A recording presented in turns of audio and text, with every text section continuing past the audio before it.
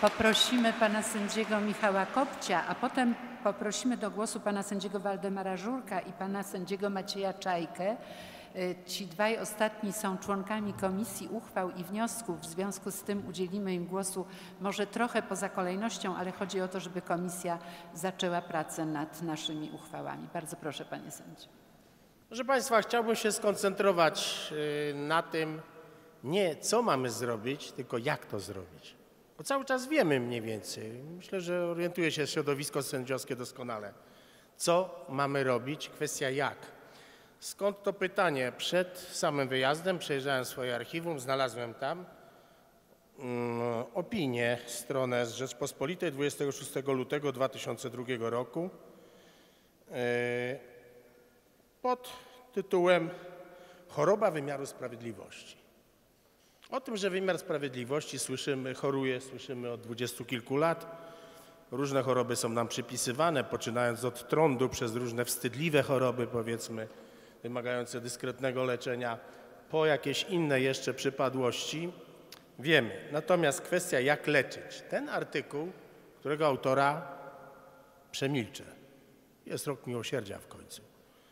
Yy, mówi tak, nad tytułem Stan polskiego wymiaru sprawiedliwości ukształtował się przy okrągłym stole, a zmienić może go tylko rewolucja moralna.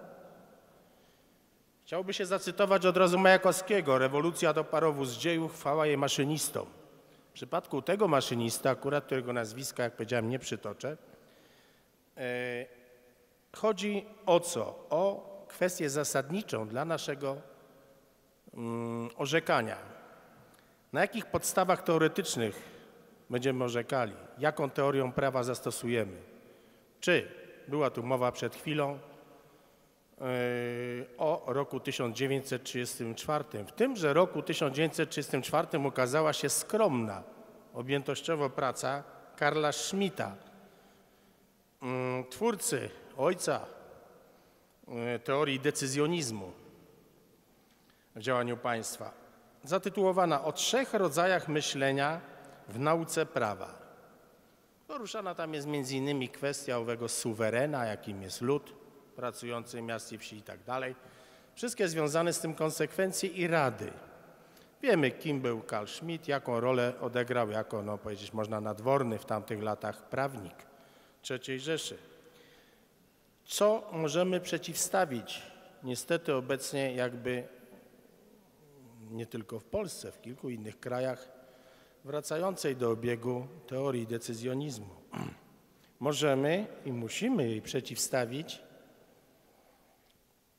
teorię twórcy, autora książki Konstytucja Wolności, Fryderyka Augusta von Hayeka, zapomnianego niestety, jak się wydaje, w literaturze rzadko przytaczanego, a przecież to jest kwintesencja, jeżeli chodzi o obronę wolności obywatelskich, wolności indywidualnych, o rolę sędziów w tego rodzaju sprawach, Hayek jest po prostu przynajmniej dla mnie wyroczny. Oczywiście jest to pogląd, yy, pogląd bardzo liberalny, nawet określany przez niektórych jako skrajnie liberalny czy bardziej prawicowy. Niemniej zawiera, przytoczę tylko jedno zdanie, naprawdę krótkie, tegoż autora.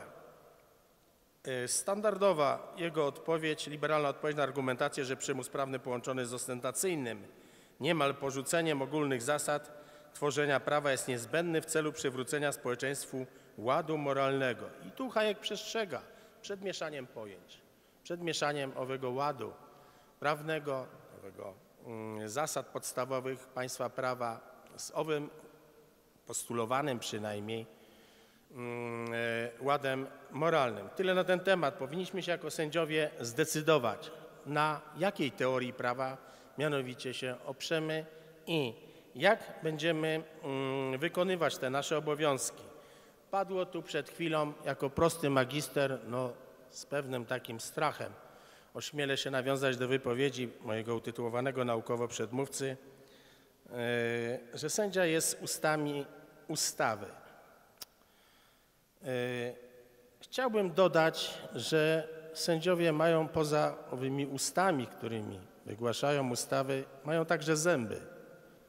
Tymi zębami, mówiąc już nieco kolokwialnie, są możliwości, możliwości chronienia praw i wolności przewidziany prawem sposób. Wymaga to oczywiście dużych umiejętności, dużej wiedzy na pewno, choćby kwestia pytań prejudycjalnych, choćby stawianie zagadnień prawnych, co wymaga dużej dyscypliny na pewno i wiele, włożenia wielu pracy, ale to jest nasz środek na tego typu, powiedzmy, mm, e, próby regulowania statusu sędziego. I jeszcze chciałbym tylko Państwu przypomnieć jednym zdaniem dosłownie e, coś, mm, nawiązując do wypowiedzi profesor Ewy Łętowskiej. E, W 1993 roku został opublikowany dekalog dobrego sędziego, zawierający 10 zasad owego dobrego sędziego. Powiem Państwu tak, przez 23 lata nie rozstawałem się z tym stanowiskiem, tak samo jak z innymi mm, e, dotyczącymi statusu sędziego, czym się bardzo żywo we współpracy z Justicją zajmowała pani profesor, za co jeszcze raz serdecznie dziękujemy.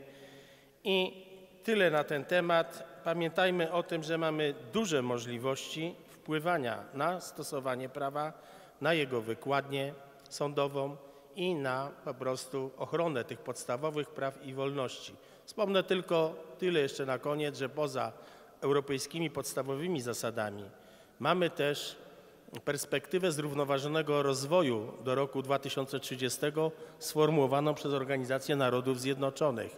Tam są bardzo jasno wyłożone zasady pracy sędziów, zasady organizacji sądownictwa, inne. I jest to rafa, którą będzie bardzo trudno ominąć, jeżeli ktoś będzie próbował. Dziękuję.